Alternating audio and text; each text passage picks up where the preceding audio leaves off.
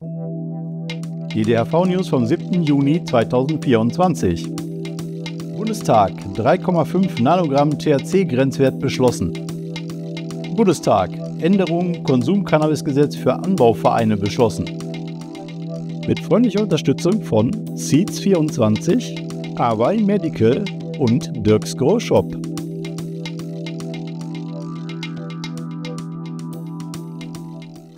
Herzlich willkommen bei den DHV News. Ein paar Vorbemerkungen habe ich diesmal wieder. Die erste ist, äh, wie üblich, wenn das so ist, dass ich es am Anfang bringe, nächste Woche gibt es wieder keine DHV-News, weil in Berlin die Hölle los ist. Vor der Mary Jane, vor der großen Hanfmesse in Berlin gibt es auch diverse andere Veranstaltungen. Ich bin die ganze Woche ausgebucht im Prinzip damit. Und die, Kanoko, äh, die, die Mary Jane geht ja auch schon freitags los, ähm, sodass auch Martin da mit vor Ort sein wird. Äh, und wir haben also weder Zeit zum, zum Quatschen noch zum äh, Kamera draufhalten.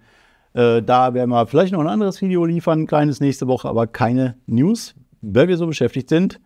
Der zweite Punkt ist der Hinweis, am Sonntag sind Europawahlen. Ich habe es letzte Woche hier ausführlicher erzählt, dass wir unsere Wahlanalyse online haben auf unserer Seite, wo wir alle Parteien, die bisher im Europäischen Parlament drin waren und die, die aussichtsreich sind, da reinzukommen, jetzt, und zwar auch mehrere kleine dabei, äh, weil die 5%-Hürde beim Europaparlament nicht da ist, also mal was anderes als sonst die Wahlanalysen auch. Guckt euch die nochmal an. Geht wählen am Sonntag. Ich hänge den äh, Link nochmal in die Videobeschreibung zu der Wahlanalyse rein. Dann nochmal, wo wir gerade beim Thema Europa sind, ein kleiner Hinweis, den ich hier so offiziell noch nicht gebracht habe. Ich habe hier seit einiger Zeit schon, weiß ich bald schon bald zwei Jahre wahrscheinlich, das erste Mal gesagt habe, dass es äh, Überlegungen gibt, eine europäische Bürgerinitiative zu machen, ECI, European Citizen Initiative, hochoffiziell hätte man eine Million Unterschriften sammeln müssen und bestimmte Mindestunterschriften in sieben verschiedenen Ländern erreichen müssen, um eben auf, europäischem, auf europäischer Ebene den Weg freizumachen für die Legalisierung von Cannabis. Wir haben ja besonders in Deutschland jetzt gerade das Problem gehabt, dass wir endlich so weit waren, ja, dass unsere Regierung Cannabis richtig legalisieren wollte und dann gesagt hat, ja, geht nicht wegen Europarecht.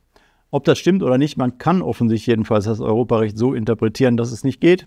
Und das ist natürlich ein Problem. Und wir sind nicht die Ersten, die davon betroffen sind. In Luxemburg war es genau das Gleiche. Das heißt, auf Dauer werden wir auf der europäischen Ebene was tun müssen. Deswegen war auch bei der Europawahlanalyse so wichtig, überall bei den Parteien in die Programme auch reinzugucken und für sie wichtig, da reinzuschreiben, dass sie vorhaben, das Thema auf europäischer Ebene anzugehen und das zu thematisieren und natürlich möglichst zu versuchen, da eben den Weg frei zu machen.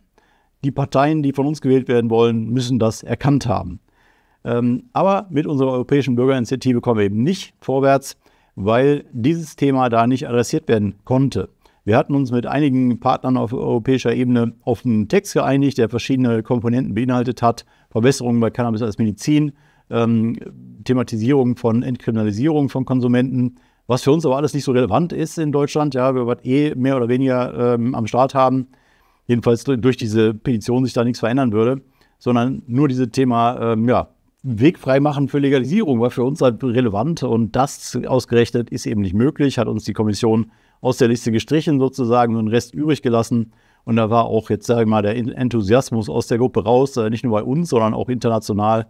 Ähm, das war schon absehbar, aber ich habe jetzt auch nochmal offiziell, ähm, dass das nicht stattfinden wird. Ja, das sah man auch jetzt äh, auf der Seite der Europäischen Kommission, wo die Berichte sind über diese, diesen, diese angemeldete Bürgerinitiative, dass die jetzt wieder zurückgezogen worden ist. Und jetzt wisst ihr auch, warum.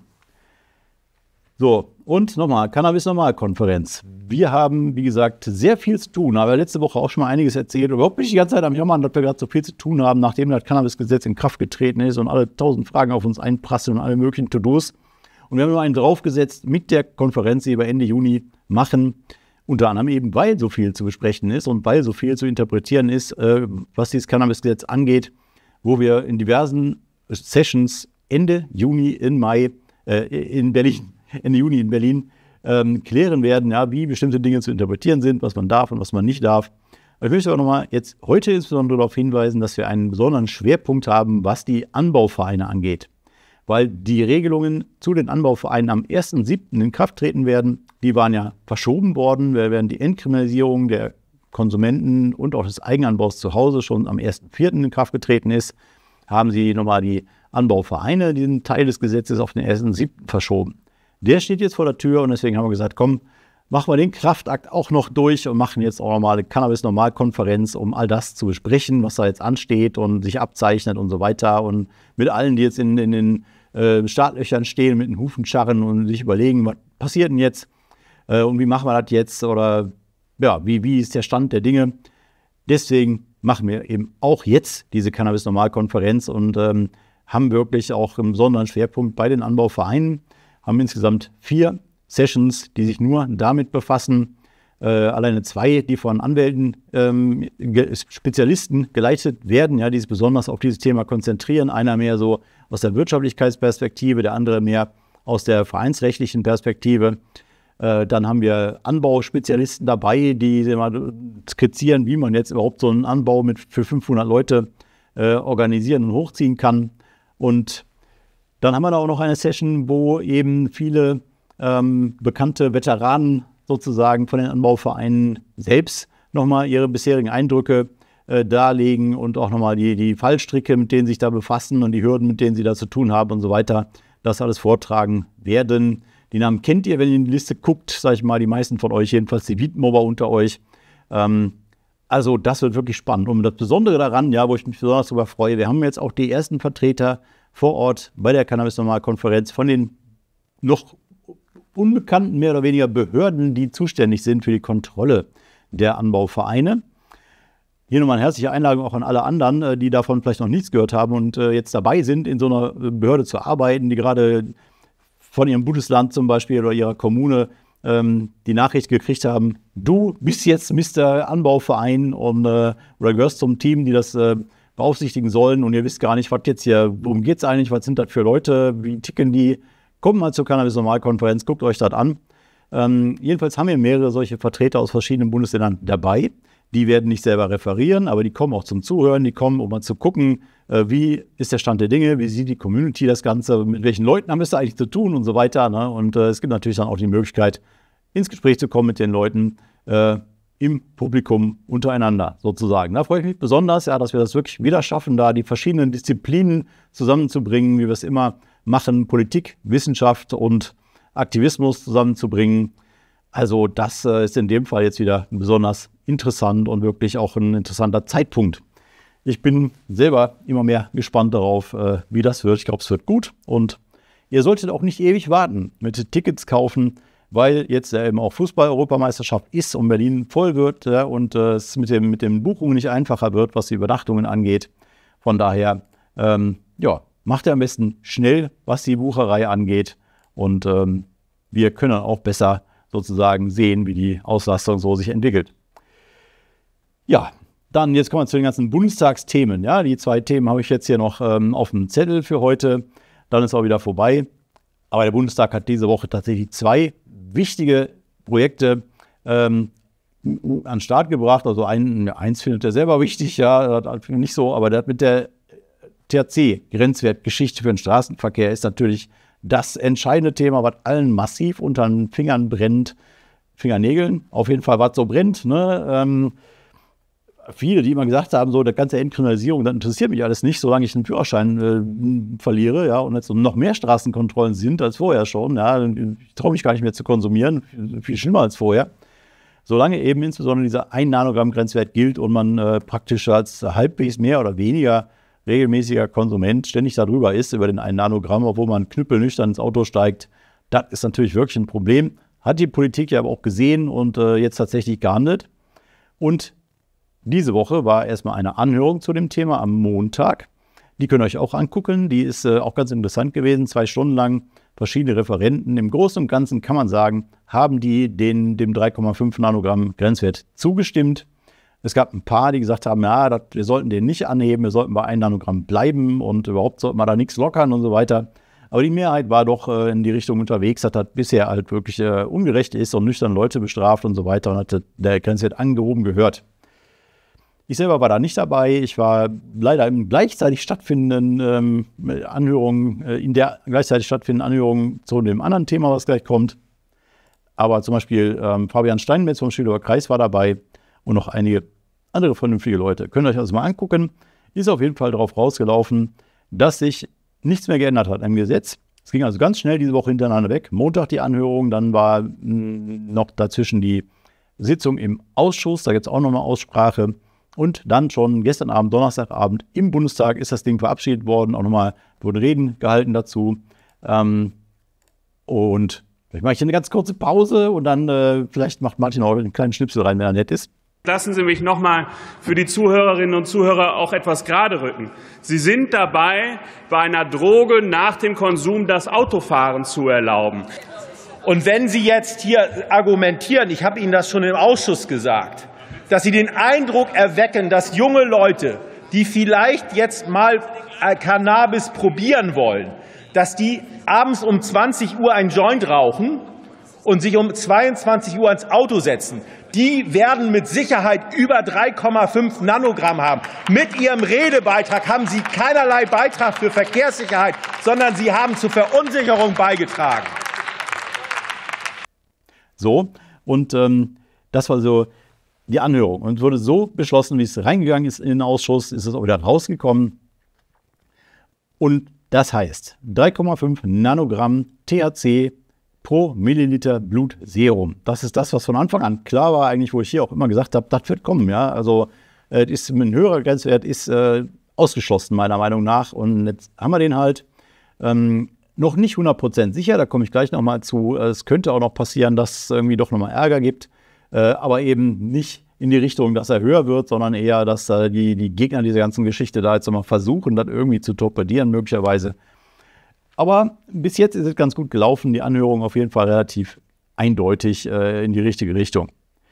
Noch ein paar Probleme gibt es aber an dem Punkt. Also erstmal 3,5 Nanogramm an sich ist natürlich kein Traumwert. Ja, wir hätten uns einen größeren, höheren Wert vorgestellt, auch wenn ich ja sage, es wäre nicht durchsetzbar gewesen. Aber trotzdem äh, gibt es international Beispiele mit höheren Grenzwerten. Und es wird immer noch Leute geben, die äh, wegen einer Drogenfahrt belangt werden oder einer Cannabisfahrt, obwohl sie nüchtern ins Auto steigen und obwohl sie eben am Abend vorher mit ausreichend zeitlichem Abstand konsumiert haben, weil eben bei regelmäßigen Konsumenten und die, die viel konsumieren, insbesondere am Tag, äh, sich THC ablagert im Fettgewebe und immer was ausschwemmt und immer äh, so ein Grundstock von wenigen Nanogramm im Blut vorhanden sind, die aber gar keine Wirkung entfalten. Ne? Dafür ist das eben zu wenig, äh, das wirkt nicht, aber trotzdem sind sie vielleicht über 3,5 Nanogramm und kriegen dann immer noch einen Drogenpfad unterstellt. Also das alte Problem, was wir bei 1 Nanogramm auch haben, wird weiterhin immer noch äh, manchen Leuten Probleme machen, aber eben der Großteil der Leute, äh, die abends konsumieren und am nächsten Tag fahren, die meisten sind ja auch Gelegenheitskonsumenten, rein zahlenmäßig, ähm, oder eben die, die sehr wenig abends konsumieren, die werden durchkommen durch diese Nummer, die werden dann äh, keine, äh, also nicht über 3,5 Nanogramm liegen. Wie das genau bei jedem Einzelnen individuell ist, natürlich jetzt sehr viel Unsicherheit da. Ja, wer weiß das schon? Ich habe jetzt keinen Nanogramm-Ticker irgendwie um Handgelenk oder so, ja, der mir sagt, wo ich jetzt da gerade stehe.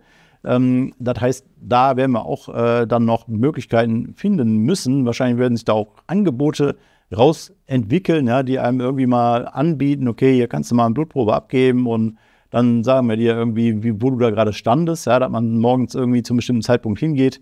Ich höre auch jetzt von mehreren Leuten, die das mit den Hausärzten mal ausprobieren und sagen, ja, ich hätte gern morgens um acht mal einen Termin, ja, da stelle ich normalerweise ins Auto, ich mache mein normales Konsummuster abends und ich will einfach mal wissen, wie viel Nanogramm habe ich denn dann? Ja, bin ich jetzt sicher oder bin ich nicht sicher? Ähm, das soll wohl auch gehen, ja, auch wenn ich äh, noch keinen konkret gehört habe, der es wirklich gemacht hat, aber einige, die es vorhaben, die es anmelden und so weiter. Ähm, ihr könnt ja mal in die Kommentare schreiben, ob ihr das schon gemacht habt, beim Hausarzt oder Hausärztin da so einen Test mal zu machen äh, und was dabei rausgekommen ist. Und ob ihr zu denen gehört, die auf der sicheren Seite sind oder eher nicht. Dann gibt es natürlich noch ein paar andere Kleinigkeiten, die kritisch sind. Insbesondere der größte davon, größte Brocken, ist, dass für Fahranfänger weiterhin eine Nulltoleranz gelten soll, was ja bei Alkohol auch der Fall ist. Da gilt auch die 0,5 Promille Grenze nicht für Fahranfänger. Ähm, und das ist ja, heißt ja auch Führerschein auf Probe sozusagen. Und von 18 bis 21, das sind drei harte Jahre im jungen Erwachsenenalter, ne, wo viele sicherlich äh, konsumieren gerne und im Freundeskreis viel konsumiert wird und so weiter oder gern konsumiert wird. Äh, und die haben weiterhin eben dieses Problem, Null Toleranz und zwar ein Nanogramm. Also nicht null, sondern eins in dem Fall, genauso wie bei Alkohol letztendlich auch aus technischen Gründen quasi 0,2 Promille und nicht 0 Promille gilt. Ja, ein bisschen Naturalkohol hat man sowieso, wenn man Apfel, Apfelsaft trinkt zum Beispiel. Und ähm, ein Nanogramm wird toleriert, aber eben mehr auch nicht. Und das ist eigentlich unsinnig, weil unter 3,5 Nanogramm tatsächlich nicht mit irgendeiner äh, Wirkung zu rechnen ist, die irgendwie für, für Unfälle relevant wäre. Äh, eigentlich geht man sogar, was Unfallwahrscheinlichkeit angeht, noch von noch deutlich höheren Werten aus als 3,5 Nanogramm, dass, äh, dass dann erst die Unfallwahrscheinlichkeit steigt. Ähm, von daher hätte man ruhig diese ähm, 3,5 Nanogramm auch für Fahranfänger gelten lassen können. Die sind im Prinzip auch schon Null Toleranz. Ja? Die erwarten von allen, dass sie nüchtern fahren, komplett anders als bei Alkohol. Da ist keine Angleichung zu Alkohol. Da haben wir mit 0,5 Promille einen Wert, wo durchaus eine gewisse äh, Berauschung akzeptiert wird vom Staat. Bei Cannabis nicht. Ja, da wird gesagt, also 3,5 ist, äh, da ist keine Wirkung, ja, und äh, darüber werdet ihr im Prinzip Ärger kriegen. Ja, also das äh, übrigens, da war auch ein Polizist in der Anhörung dabei, der sagt, ja, da brauchen wir dann verschiedene Schnelltests dann nachher. Ne? Ist ja schön, auf Speicheltest umzustellen. Aber brauche ich dann zwei verschiedene? Einmal für einen 3,5 Nanogramm Grenzwert und dann für Fahranfänger einen anderen. Und dabei ist dann auch noch ein anderer Punkt aufgefallen, den wir auch gar nicht auf dem Schirm hatten. Äh, und zwar sagte der, dass für Personenbeförderer dann auch weiterhin ein Nanogramm gelten und nicht 3,5. Nicht für Gefahrguttransporter, sagt er ja, was irgendwie komisch wäre. Und da haben wir auch ein bisschen baff geguckt, aber da steht gar nichts von in, in diesem Gesetzentwurf für, für, ähm, für die Änderung der Fahrerlaubnisverordnung des Straßenverkehrsgesetzes. Personenbeförderung kommt da nicht vor. Aber ähm, Kollege Simon Krauser hat dann mal ein bisschen recherchiert und ist zum Beispiel auf die Bohrkraft gestoßen. Ja, habt ihr schon mal von der Bohrkraft gehört? Ich wusste da nichts von. Das ist äh, die Verordnung über den Betrieb von Kraftfahrunternehmen im Personenverkehr. Paragraph 45 Ordnungsfähigkeit ist genauso formuliert wie in der Änderung jetzt, in der jetzt beschlossenen Fassung äh, der ähm, Fahrerlaubnisverordnung und Straßenverkehrsgesetz, ähm, dass bei Fahranfängern eben, dass sie kein Cannabis konsumieren dürfen. Da steht auch nicht konkret ein Nanogramm drin, sondern einfach nur, dürfen nicht. Und im, nur äh, im Beschreibungs- und Erklärtext hinten drin steht dann, ja, das bedeutet eben diesen analytischen Grenzwert von ein Nanogramm. Und dieselbe Formulierung ist eben auch in diesem, dieser Verordnung für, für eine Bohrkraft. Ähm, ob das jetzt auch für Zugführer gilt, weiß ich nicht, weil hier ist erstmal nur von Busfahrern die Rede, mehr oder weniger. Äh, wahrscheinlich gibt es da auch noch eine Zugkraft oder so, was auch nochmal steht, keine Ahnung. Auf jeden Fall ist das ein Problem für Personenbeförderer. Ja, da wir bis jetzt auch nicht nichts von wussten. Ja, ihr müsst euch mal beschweren irgendwie und bei euren ähm, Interessenvertretungsverbänden irgendwie mal anklopfen und sagen, dass ihr das ändern wollt. Ja? Ähm, wir wollen das auch nochmal ändern, gerne. Ja, das ist also schräg. Entweder ist man nüchtern unter 0,3 oder 3,5 Nanogramm oder man ist es nicht. Ja, also man ist nüchtern, man darf auch Personen befördern.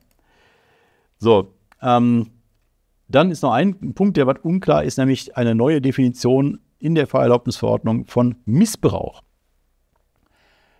Das wurde ja schon einmal geändert, was dazu geführt hat, ähm, dass eben jetzt nicht mehr gleich beim ersten Verstoß eine MPU angeordnet wird, sondern erst nach mehrfachem Verstoß, genauso wie bei Alkohol, ähm, und es ist, war auch dieselbe Formulierung wie bei Alkohol drin, nämlich, also die jetzt geltende Fassung nach, äh, nach dem 1.4. Missbrauch, das Führen von Fahrzeugen und ein die Fahrsicherheit beeinträchtigender Cannabiskonsum können nicht hinreichend oder sicher getrennt werden. Jetzt steht da, das Führen von Fahrzeugen und ein Cannabiskonsum mit nicht fernliegender verkehrssicherheitsrelevanter Wirkung beim Führen eines Fahrzeugs können nicht hinreichend sicher getrennt werden. Ihr habt wahrscheinlich den Unterschied gar nicht rausgehört. Ich musste das auch jetzt dreimal lesen. Ja, was soll das überhaupt? Wo ist überhaupt der Unterschied? Äh, jedenfalls in der jetzigen Fassung steht da, Missbrauch ist, äh, wenn tatsächlich beeinträchtigender, die Fahrsicherheit beeinträchtigender Cannabiskonsum vorhanden ist. Und neu, wenn er vielleicht vorhanden ist, ein nicht fernliegender, äh, nicht fernliegende Wirkung, und zwar auch nicht Fahrsicherheit beeinträchtigend, sondern nicht fernliegend verkehrssicherheitsrelevant. Und in der Beschreibung wird darauf hingewiesen, äh, dass man damit eben dieser neuen Erkenntnis auch der, der Expertenkommission nachkommt. Und äh, die haben unter anderem gesagt, dass zwar bei 3,5 Nanogramm äh, schon gewisse motorische Beeinträchtigungen messbar sind, ja, in irgendwelchen Simulatoren, aber die jetzt nicht unbedingt unfallrelevant, also verkehrssicherheitsrelevant sind. Das könnte ein Hintergrund sein für diese Änderung.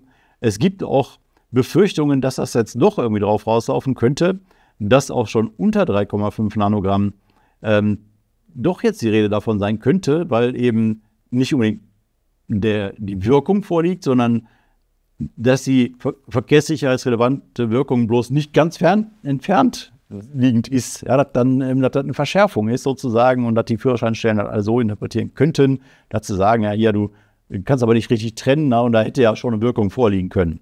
Ein bisschen kompliziert, ja, man wird letztendlich in der Praxis sehen müssen, was jetzt dabei rauskommt. Man könnte annehmen, der Gesetzgeber wollte damit im Prinzip was Gutes tun, ja, für die Konsumenten, damit jetzt eben klar ist, ähm, es geht wirklich um verkehrssicherheitsrelevante Wirkungen und nicht jetzt irgendwie irgendwelche, dass man anfängt, ein bisschen mit dem kleinen Finger zu wackeln, was für die Verkehrssicherheit überhaupt nicht äh, eine Rolle spielt. Ähm, und deswegen nicht schon die, die Führerscheinstellen äh, bei sehr niedrigen Werten zucken sollen, sondern ähm, sich entweder an den 3,5 Nanogramm Grenzwert halten oder in der Expertenkommission sogar die Rede von wirklich verkehrssicherheitsrelevanten, unfallträchtigen Werten unter 7 Nanogramm, dass da gar nichts passiert. Ja, also wird man jetzt sehen, was das genau zu bedeuten hat. Ich habe da unterschiedliche Meinungen von Experten auch zu gehört, die auch, alle, auch spekulieren letztendlich, was jetzt das überhaupt soll. Ähm, und äh, die Erklärung ist auch ein bisschen schwammig, die da im Begleittext dabei ist. Die Umstellung auf Speicheltest ist natürlich in dem Zusammenhang noch wichtig, äh, weil ja, bevor man die Blutprobe macht und bevor man wirklich weiß, wie viel Nanogramm hatte ich eigentlich im Blut, ist ja, wird ja, ist ja immer die Möglichkeit, einen Schnelltest zu machen. Wo wir im Moment sagen, lehnt die ab. Ja, das ist erstens überhaupt nicht gerichtsfest und da gibt es falsch positive Sachen. Und vor allen Dingen, in, meistens in Deutschland werden immer noch Urintests benutzt, die wochenlang noch den Konsum nachweisen über Abbauprodukte von THC. Das sagt überhaupt nicht so aus, ob ich überhaupt THC im Blut habe, sondern nur, dass ich ein Cannabiskonsument bin. Und dann schicken sie einen deswegen zur Blutprobe. Also das kann man sich auch sparen. Ähm, da wäre ein Speicheltest wirklich ein großer Fortschritt, weil die nicht so lange zurückblicken, äh, was den letzten Konsum angeht. Und das stand auch in der Expertenkommission drin da in, dem, in der Stellungnahme, neben dem 3,5 Nanogramm Grenzwert, dass das eben auch ein Riesenfortschritt wäre. Und auch im Prinzip nochmal was wäre, wo man ähm, dann mit dem jeweiligen Cut-Off-Wert dieser Tests dann äh, vielleicht auch die regelmäßigen Konsumenten dann nochmal ein bisschen entlasten könnte, dass die eben, äh, selbst wenn die vielleicht 4 Nanogramm haben oder so, mit diesem Speicheltest immer noch irgendwie durchkommen, ähm, weil die ja auch keine Beeinträchtigung haben. Je regelmäßiger, desto weniger Beeinträchtigungen, kann man auch sagen. Ne? Und trotzdem hat man mehr THC im Blut.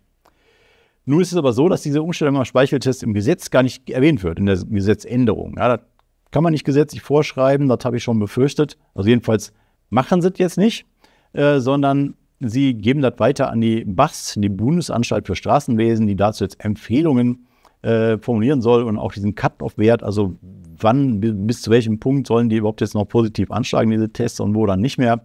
Dazu soll jetzt diese Anstalt, ähm, die ans Verkehrsministerium angegliedert ist, Vorschläge machen. Ja, das ist also noch offen sozusagen, wie das weitergeht mit den Speicheltests und auch noch offen, ob überhaupt die Landespolizeibehörden sich jetzt daran halten werden oder ob, ob die das dann müssen. Äh, Wenn es nur Empfehlungen sind, müssen sie vermutlich nicht. Äh, und ob sie das machen eben. Ne? Und was dann der Cut-Off-Wert ist. Und wenn wir den dann haben und wissen, die BAST hat Vorschläge gemacht und wir wissen, die Polizei benutzt dann auch die Tests äh, mit, der, mit dem Cut-Off-Wert, den, den die da vorschlagen, dann wird man sich auch als Konsument solche Tests besorgen können. Äh, Wenn es jetzt zumindest nicht mit irgendeinem super teuren Gerät verbunden ist, was die Polizei dann irgendwie im Auto mit sich führt. Ähm, vermutlich doch eher einfach normal, so Schnelltestdinger, wie man das auch von Corona kennt. Äh, die wird man sich dann zumindest auch als Privatmensch besorgen können und dann endlich äh, mal herausfinden können, ohne zum Arzt zu gehen, wie ich am Anfang gesagt habe, ohne Blutprobe abzugeben bin ich da jetzt sicher, kann ich jetzt fahren oder nicht? Na, das ist ja letztendlich das, worauf es ankommt, den meisten, diese Unsicherheit loszuwerden. Ähm, wenn ich jetzt hier sage, ja, die meisten sind, sind irgendwie sicher, aber wisst ihr denn jetzt, ob ihr da jetzt sicher seid oder nicht mit eurem Konsummuster jeweils individuell, ist halt schwer zu sagen. Ich selber weiß auch nicht, weil ich irgendwie wann für einen THC-Wert habe und so weiter, ne, würde ich auch ganz gerne wissen. Ähm, und ich hoffe, dass wir da dann eben auch irgendwann noch äh, und möglichst schnell weiterkommen an dem Punkt. So, jetzt muss das Ganze aber noch durch den Bundesrat, wie jedes Gesetz. Ich habe am Anfang gesagt, das gilt jetzt auch nicht nur, weil der Bundestag das beschlossen hat. Wir haben, wir haben immer zwei Parlamentskammern und ähm, manche Gesetze sind zustimmungspflichtig, manche nicht. Das haben wir hier in den News ja ausgiebig durchgekaut beim Cannabisgesetz, was letztendlich nicht zustimmungspflichtig war. Ähm, aber trotzdem nochmal ganz eine große Diskussion am Ende war, ob der Bundesrat vielleicht den Vermittlungsausschuss anruft und damit zumindest nochmal monatelang, ein halbes Jahr mindestens irgendwie das Ganze verzögert oder bis zum St. Nimmerleinstag da tot diskutiert und am Ende kommt es gar nicht.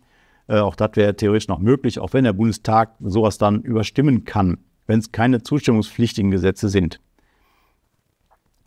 Jetzt gab es heute äh, schon eine Meldung, wie ich gesehen habe, ähm, Oldenburger Nachrichten, Nachrichtenagentur DTS, Cannabis-Grenzwerte im Straßenverkehr in Kraft treten verzögert sich. Und zwar, weil der Bundesrat nicht auf, der, auf die Bitte des Bundestages eingegangen ist, da ein äh, beschleunigtes Verfahren zu machen. Also der Bundesrat hat das Recht, eine gewisse Frist, Frist zu bekommen, um sich mit dem Gesetz zu befassen. Das wird auch in den Ausschüssen des Bundesrats nochmal besprochen, also Verkehr, Gesundheit und so, bevor es dann im Bundesrat selber verabschiedet wird. Und der Bundesrat hat an dem Punkt, dem Bundestag gesagt, nee, also hier machen wir kein Schnellverfahren, das machen wir ein Normalverfahren sozusagen. Äh, und das bedeutet letztendlich, dass dieses Gesetz nicht schon am 14.06., sondern erst am 5.07. in den Bundesrat gehen wird und danach in Kraft treten kann, wenn eben der Vermittlungsausschuss nicht angerufen wird. Es ist also keine Verzögerung eigentlich, wie hier äh, diese Nachricht äh, der Oldenburger Nachrichten zum Beispiel suggeriert, sondern es ist der normale Weg. Ja, ganz normales Verfahren sozusagen, ja, aber eben nicht beschleunigt. Und jetzt für die Frage, ob, wie wahrscheinlich das ist, dass der Bundesrat da jetzt nochmal Probleme macht, schwer zu sagen. Ähm, ich habe eher den Eindruck, dass es nicht wahrscheinlich ist, dass da nochmal Probleme gibt. Habe ich beim letzten Mal aber auch gedacht, ja, bis dann irgendwie klar war, oh, äh, wir haben jetzt doch ein Riesenproblem hier. Die Frage ist nur, ähm, was jetzt irgendwelche Protestaktionen angeht. Ich glaube, dass die Community bei 3,5 Nanogramm Grenzwert jetzt nicht furchtbar wild darauf ist, dafür zu kämpfen. Ja, und jetzt eine riesen Protestaktion zu starten, an die Bundesländer zu sagen, ähm, macht das bitte jetzt sofort äh, ohne Verzögerung und so weiter, weil die meisten sich da immer noch irgendwie auf den Schlips getreten fühlen, dass der zu hoch ist, der Grenzwert, äh, äh, nicht hoch genug ist, der Grenzwert. So oder so, ich hoffe mal, dass das jetzt durchgeht. Ich halte das für eine erhebliche Verbesserung tatsächlich für die allermeisten Konsumenten, wenn auch nicht für alle.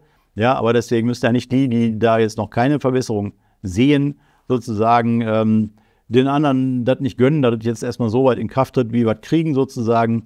Dann müssen wir halt langfristig weiterkämpfen für höhere Grenzwerte, aber vor allen Dingen auch für andere Testverfahren, ja, dass man irgendwie testet, ob Leute nüchtern sind, ob sie fahrtüchtig sind und nicht, ob die irgendwie ein Nanogramm mehr oder weniger THC im Blut haben. Darauf kommt es ja an, letztendlich, dass die Leute sicher fahren. Und äh, dass man da in der Forschung vorwärts kommt, ähm, wäre auf jeden Fall sehr wünschenswert. So, jetzt das zweite Thema, was diese Woche im Bundestag beschlossen worden ist ähm, eine Änderung des Konsumcannabis-Gesetzes in Bezug auf die Anbauvereine. Da geht es um die Umsetzung eines, einer Protokollnotiz von Gesundheitsminister Lauterbach zum Bundesrat, als nämlich das ganze Cannabis-Gesetz mit allem drum und dran im Bundesrat war. Ihr wisst das wahrscheinlich größtenteils noch, da haben wir, da haben wir ein Riesentheater gemacht, ja, weil der Bundesrat da gezögert hat und weil wirklich völlig unklar war, ob das ganze Projekt überhaupt jetzt nochmal äh, ewig verzögert wird. Ähm, ja, und das auch naheliegend war, das wäre fast passiert, wenn wir nicht irgendwie so einen richtigen Aufstand gemacht hätten da. Und ähm, Lauterbach hat da quasi auch nochmal mitgeholfen, wieso das auch immer funktioniert hat. Ja, er seine äh, Gesundheitsministerkollegen SPD in den Bundesländern damit überzeugt, dass er gesagt hat, wir schärfen nochmal nach bei dem Gesetz und wir machen halt neben den Anbauvereinen nochmal ein bisschen ähm, schwerer. Ja, wahrscheinlich hat er gesagt, wir schützen die Jugend damit. Ja, und dann ist gut. Ja, dann können wir das jetzt unterstützen. Dann haben die, dann haben die gesagt, ja, dann, wenn das so ist, dann machen wir das. Ja, obwohl das mit Jugendschutz überhaupt nichts zu tun hat. Aber äh, ging, darum ging es jetzt, dass diese Protokollnotiz umgesetzt werden sollte. Lauter was Versprechen an den Bundesrat. Äh, der Bundestag hat sich offenbar auch gezwungen gefühlt, das jetzt zu machen, ne, weil eben der Bundesrat dann ja deswegen im Prinzip dem, dem Gesetz zugestimmt hat. Und deswegen müssen jetzt halt liefern, sozusagen, weil Lauterbach da irgendwie einen Zettel abgegeben hat und versprochen hat, dass er jetzt nochmal ändert da. Und zwar drei, im Wesentlichen drei wichtige Änderungen, die eben für die Anbauvereine schwierig sind. Dazu gab es übrigens auch eine Anhörung am Montag, habe ich ja gesagt, da war ich auch dabei. Da gibt es auch eine schriftliche Stellungnahme vom Handverband, äh, wo ich die, diese drei Punkte auch kritisiert habe. Ähm, von, da gibt es auch von der Sitzung einen Auszug von meinen Antworten hier im DHV-YouTube-Kanal. Diesmal waren es nur zwei Antworten und recht wenig Antwortzeit, aber könnt ihr auch mal angucken. Und vor allen Dingen die schriftliche Stellungnahme, um nochmal nachzuvollziehen, wovon ich hier eigentlich rede, bei diesen Verschlechterungen der Anbauvereine. Zwei davon sind tatsächlich wie vorgesehen beschlossen worden. Einerseits ging es darum, dass Paketlösungen, gebündelte Dienstleistungen bis hin zur schlüssig fertigen Grow-Anlage verboten werden sollen.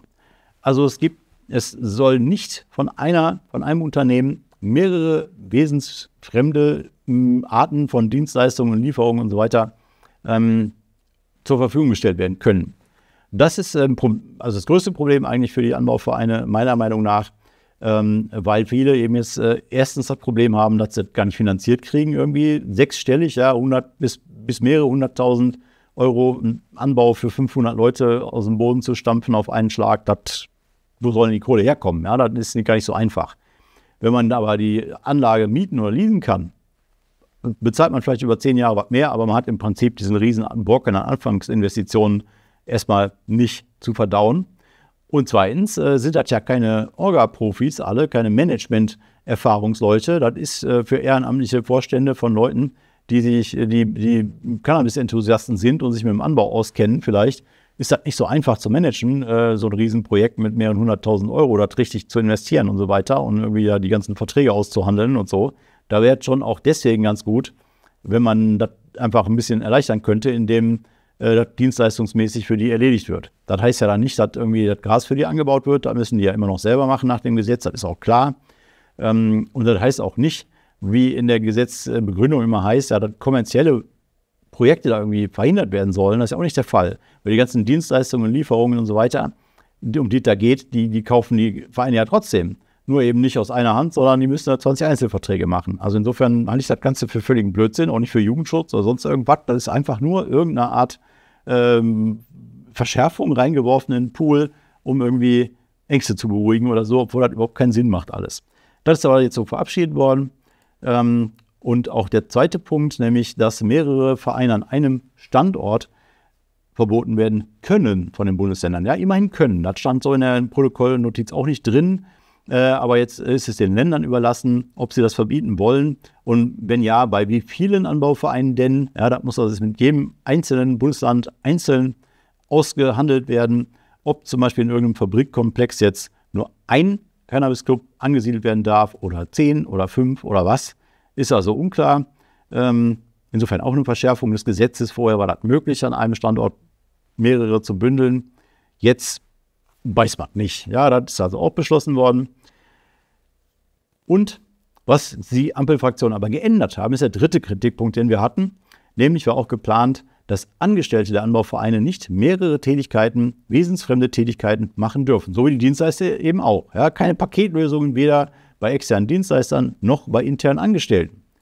Und äh, das haben wir auch kritisiert und gesagt, ja, was soll das? Ja, äh, auch das wäre doch, macht den, den doch das Leben einfacher zu sagen, einer ist hauptverantwortlich, durch Bündelung verschiedener Tätigkeiten können wir uns leisten, den hauptamtlich anzustellen oder die ähm, und haben dann jemanden, der da irgendwie wirklich äh, davon lebt und sich auch verantwortlich fühlt und nicht nur nebenbei irgendwie da ein bisschen rumwurschelt. Das äh, ist also jetzt, haben die Ampelfraktionen nicht mitgemacht und haben gesagt, okay, das muss so weiter möglich sein. Diese Flexibilität, diese Möglichkeit des ursprünglichen Cannabisgesetzes bleibt den Vereinen also erhalten.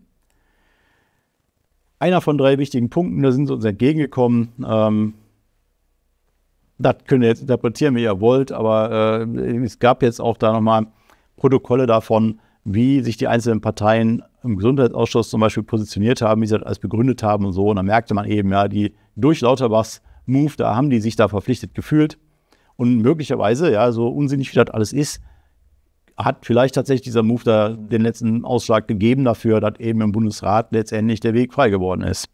Das ist schwer zu beurteilen. Hier wurde das Schnellverfahren akzeptiert an dem Punkt, ja, was ja auch Sinn macht, weil die ganzen äh, Anbauvereinsthemen zum 1.7. in Kraft treten. Am 1.7. ab dann können die Vereine Anträge stellen und deswegen ähm, ist der Bundesrat jetzt bereit, schon am 14.06. über diese Gesetzänderungen zu entscheiden, damit die dann eben rechtzeitig in Kraft treten und alle wissen, was los ist, wenn am 1.07. die Anträge gestellt werden können. Bei den zuständigen Behörden, die unter anderem äh, auch bei der Cannabis-Konferenz dabei sind, ja, äh, wo wir über diese ganzen Themen reden werden, äh, wie das jetzt weitergeht, äh, wer vielleicht schon einen fertigen Antrag hat äh, und wie das genau gemacht wird. Ja, viele, die vielleicht eher kleiner anfangen, nicht gleich mit 500 Leuten, ähm, wie der Anbau organisiert ist ja, und welche ganzen rechtlichen Fragen damit bedacht werden sollten. Kommt zur Cannabis-Normalkonferenz, redet mit uns darüber. Dafür haben wir die gemacht. Und damit bin ich bei den Terminen. In Darmstadt gibt es einen offenen Hanftisch der DV-Ortsgruppe 7.6. Das wird jetzt wahrscheinlich nicht mehr passen. Äh, das ist nämlich jetzt, äh, während ich hier rede. Ähm, dann haben wir Traunstein, Hanftisch der Ortsgruppe Chiemgau am 8.6. in Wuppertal, am 11.6. Treffen der Ortsgruppe, 12.6. die Cannabis-Kompetenztage in Berlin. Also einer der Termine, die nächste Woche halt hier irgendwie anstehen. Da bin ich auch im Programm dabei äh, und ähm, auch darüber hinaus ein bisschen noch mit dabei und dann muss ich wieder weiter zu anderen Terminen. Äh, das, da geht es auch um CSCs da sehen wir vielleicht auch noch ein paar von den CSC-Vertretern, sind immer höherwertige Preise. Das ist dann wirklich auch was für die, die jetzt wirklich loslegen wollen bald ne, und die das wirklich sehr professionell angehen und die auch wissen, da wird ein Haufen Geld investiert und so weiter. Da kann man auch da hingehen, ja, wie auch immer. Ähm, dann ein Gruppentreffen der Ortsgruppe in Halle am 12.06., 13.06. Nochmal Business, nochmal vor der ähm, Mary Jane Messe, der CB Club Berlin, Cannabis Business Club ähm, Netzwerkerei und so weiter, Business-Gedöns. Ähm, will ich auch mal kurz vorbeigucken. 13.06. Dann Fachgespräch. Auch am 13.06. Donnerstagabends. Da bin ich auch dabei in Berlin vor der Mary Jane, bla bla. Äh, das wird organisiert von den Grünen im Abgeordnetenhaus in Berlin. How to legalize, die Cannabis-Teillegalisierung in Berlin. Wie geht es jetzt da weiter? Was ist mit Säule 2 und so weiter? Ne? Ähm, kriegen wir hier Cannabis-Clubs. 13.06. Donnerstagabends. Das ist kostenlos, aber Anmeldung nötig. Und dann natürlich die Mary Jane selbst, 14.06. bis 16.06. Riesenmesse, wird immer größer.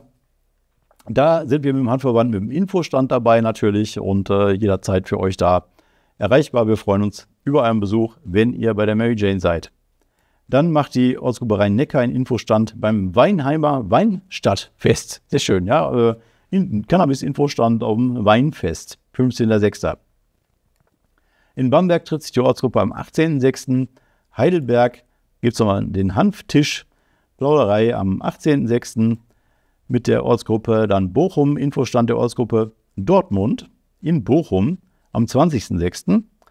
In Darmstadt am 21.06. Hanftisch der Ortsgruppe am 22.06. Infostand Ortsgruppe in Mannheim so, und jetzt auch noch zwei, äh, drei andere Termine. Und zwar ähm, in Berlin am 22. und 23.06. eine ähm, Führung im Museum mit Helene Bartrop, die Historikerin, und eine Lesung mit Helene Bartrop, Historikerin, der große Rausch zum Thema Drogenprohibition und wie ist das überhaupt dazu gekommen und wie ist das einzuschätzen und so weiter. Das habe ich hier schon mal vorgetragen. Die meisten haben wahrscheinlich jetzt ein Déjà-vu. Das ist nämlich damals ausgefallen, vor zwei Monaten oder was, äh, weil äh, Frau Bartrop krank war. Nee, Barop. Und jetzt ist er wieder da. Ja, also, da, die haben wohl damals trotzdem eine schöne Führung gehabt und alle Leute waren zufrieden und so. Aber jetzt ist das Ganze eben nochmal mit Frau Barop. Genau, am 22.06. die Führung, 23.06. Lesung. Und dann die Mary Jane selber am 14. bis 16.06 ja, da wird dann natürlich auch nochmal richtig was los sein. Und das war's für heute. Ja, also nächstes Mal in zwei Wochen geht es dann hier weiter mit den News. Vielleicht melde ich mich zwischendurch nochmal ganz kurz, aber ansonsten tierisch beschäftigt nächste Woche und kommt zur Cannabis Normalkonferenz. Ja, auch deswegen sind wir sehr beschäftigt, weil wir für euch da tolle Sessions vorbereiten. Ich freue mich auf euren Besuch und wünsche euch noch nachdem ihr natürlich den, den Kanal beglocken müsst und das Video geliked haben müsst und so weiter, einen schönen Tag und einen geruhsamen